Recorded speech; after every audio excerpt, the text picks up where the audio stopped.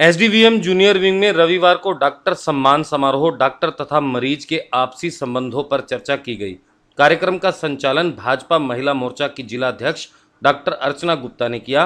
कार्यक्रम में मुख्य अतिथि सांसद संजय भाटिया रहे। डॉक्टर निर्मल खंडेलवाल ने कहा कि जैसे एक माँ अपने कमज़ोर बेटे का ध्यान रखती है, वैसे ही डॉक्टर को गरीब तथा मरीजों का ध्यान रखने की ज़रूरत है। डॉक्टरों से सीधा संबंध खत्म हो रहा है, उसे सही करना होगा। डॉक्टर का धर्म, इमरजेंसी में मरीजों का इलाज करना है, वीआईपी की सेवा करना नहीं। किसी से आँख उठाकर बात ना करें, आँख झुकाकर बात ना करें, आँखों में आँख मिलाकर बात करें। डॉक्टर और मरीज़ के रिश्तों में सुधार आएगा। इस मौके पर डॉक्टर हेमा रमन, विधायक महिपाल ढांडा, भाजपा जिलाध्यक्ष प्रमोद विज, धारा सिंह रावल, रामनिवास गुप्ता, पंडित निरंजन प्राशर, मेराज हुसैन, पार्षद रविंदर भाटिया पार्षद लोकेश नागरू मौजूद रहे। वंदे मातरम् वंदे मातरम्। राजेश जी आगे आ जाइए।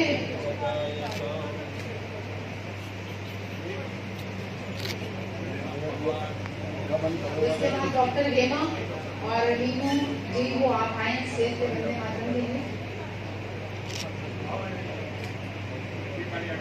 तो उन्होंने फेलिसिटेशन की थी डॉक्टर्स की प्राइवेट डॉक्टर्स की और सरकारी डॉक्टर्स की सम्मानित किया था। उस सम्मानित करने से पहले एक वहाँ कार्यक्रम था जो आज समाज में चीज़ें विकसित हुई हैं डॉक्टरों और मरीजों में एक जो बेविश्वास की फीलिंग है उसके ऊपर कि, किसका क्या रोल है और किस तरह इस चीज़ को दूर किया जा सकता है। उसमें डिस्कशंस थी और क्वेश्चन थे जिसमें उसमें माननीय संजय भाटिया जी हमारे सांसद हमारे विधायक महिपाल जी जिला अध्यक्ष प्रमोद विज जी डॉक्टर अंजलि बंसल जो आईएमए के प्रेसिडेंट हैं लोकेश नागरू जी रविंदर भाटिया जी राजेश जी गोयल आरएसएस के ऑफ़िस बीरर हैं इन सबने अपने विचार रखे थे। समाज में जो एक पेशेंट्स और डॉक्टर्स में एक दुराव की एक फीलिंग आ गई है उसको कम कैसे किया जा सकता है? डॉक्टर्स क्या रोल प्ले कर सकते हैं और पेशेंट्स की तरफ़ से क्या रोल रह सकता है? तो ये आयोजक कौन थे डॉक्टर अर्चना गुप्ता। तो सर इसमें कुछ किसी प्रकार का डिसीज़न भी लिखा है डॉक्टर्स के द्वारा? डिसीज़न कुछ किसी प्रकार हर एक ने अपने ओपिनियंस दिए।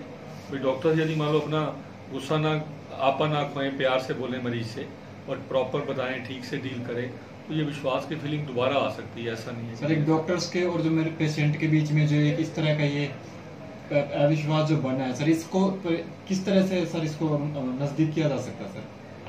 आपके मायने से। नहीं तो फिर ऐसा है ना डॉक्टर्स को भी इसमें मेहनत करनी पड़ेगी। जो प्यार से बोलने वाली फीलिंग पहले थी मरीज़ के साथ वो थोड़ा सा जैसे day by day materialistic time आ गया है और मरीज़ ज़्यादा होते हैं कई बार डॉक्टर भी गुस्सा खा जाता है और एक बार ना ठीक बोलने से मरीज़ नाराज़गी ले जाता है तो ये चीज़ें कुछ उनके पार्ट में है कुछ डॉक्टर्स के पार्ट में है तो कोशिश है कि ये दुराव जो है संजय जी ने जैसे समअप किया था उनका कहना यही था कि समाज में अवेकनिंग होनी चाहिए जो जो बेविश्वास की फीलिंग इसको ख़त्म करना चाहिए तो सर जब जिस प्रकार ने अभी आपने बताया हाँ। कि भी जो डॉक्टर्स भी कई बार गुस्सा कर जाते हाँ, हैं हाँ। तो इसमें सर कहीं ना कहीं डॉक्टरों की भी सर नहीं ताली एक हाथ से नहीं बजती ऐसा नहीं है कहीं ना कहीं कमी किसी तरफ़ है जो ये चीज़ हो रही है। ठीक है समाज में जैसे जागरूकता के लिए कल उन्होंने अच्छी डिस्कशन भी थी समअप भी संजय जी ने किया था अच्छा समअप किया था।